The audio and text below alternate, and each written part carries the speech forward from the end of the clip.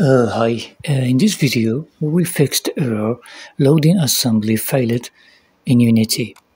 This error occurs when the assembly C-sharp DLL file becomes corrupted, which can happen due to incomplete builds, file corruption, or Unity cache problem. All the scripts in this project are not loaded.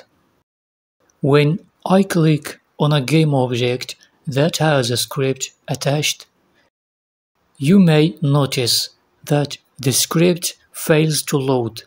This happens because the assembly file in the project has become corrupted.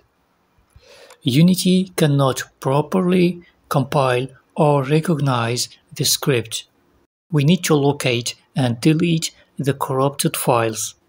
Then restart the Unity editor. Uh, to resolve this issue, navigate to Project folder, go to Library folder, then Script Assemblies folder.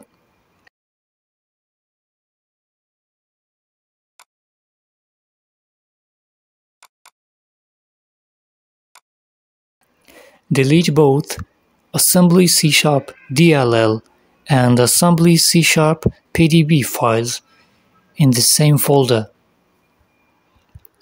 Restart Unity editor.